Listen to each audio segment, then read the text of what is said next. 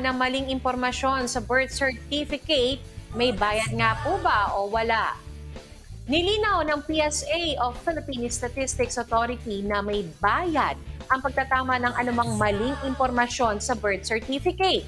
Ayon kay Nueva Ecija PSA Chief Statistical Specialist Engineer Elizabeth M. Rayo, ang pagkokorek ng dokumento ay nasa 1,000 pesos ang processing fee kapag may maling spelling sa pangalan, habang mahigit 3,000 pesos ang singil kapag babaguhin ang first name, gayon din ang pagbawasto ng buwan at araw ng kapanganakan sa birth certificate.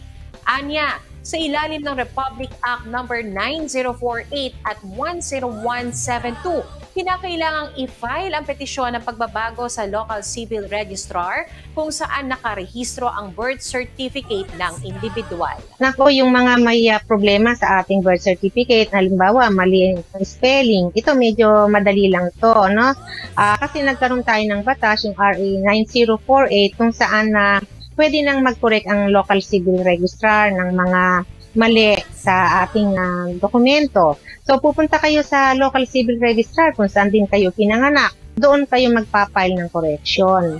Pagka-correction lang at uh, ito ay spelling, uh, 1,000 yung uh, suggested namin. Yun talaga yung uh, babayaran nyo. Kasi may mga addition yan bawat uh, munisipyo, depende sa mga sa ordinansan. So, pag naman po change to first name, kasi iba na po ito, no? papalitan na ng pangalan, ang pangalan natin. Dahil minsan nagkakaganon eh. Iba pala yung nakalagay sa birth certificate sa ating talagang ginagamit. Iba na po ang bayad. So ang bayad po rito, yung prescribed natin ay 3,000.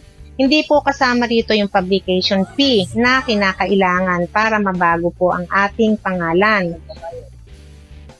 Dagdag pa ni Rayo, kung ang pagkakamali ay ang taon ng kapanganakan at ang status ng bata, kung legitimate o illegitimate ay dapat itong dumaan na sa korte. Maaari namang malibre ang sa filing fee ang mga mahihirap at walang pinagkakakitaan kung magpapasa ito ng Certification of Indigency na galing sa City o Municipal Social Welfare Development Office.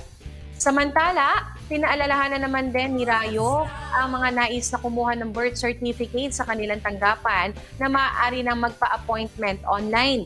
Pumunta lamang sa appointment.psa.gov.ph at dito ay maaari na sila makapi- makapamili ng araw at oras na hindi napipila at maghihintay na matagal. Kung hindi nyo po kaya no, na mag-online, meron na din kaming uh, mga tauhan doon sa Pacific sa ating uh, ah, CRS uh, unit na mag-a-assist sa inyo para kayo i-online i-online uh, appointment.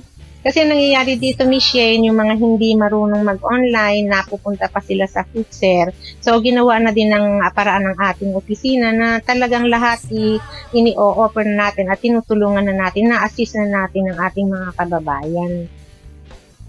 Kung ang isang individual ay hindi makakapunta sa araw ng kanyang schedule, ay maaaring magpadala ito ng kanyang authorization letter na may pirma, original ID card nito at ng taong kanyang pinakiusapan. Para sa iba pang detalye ay maaaring bisitahin ang kanilang Facebook account na PSA Nueva Ecija page o magtungo sa PSA NE Pacific Mall at PSA Provincial Office na matatagpuan sa third floor, Harrison Building, Di Cabanatuan City.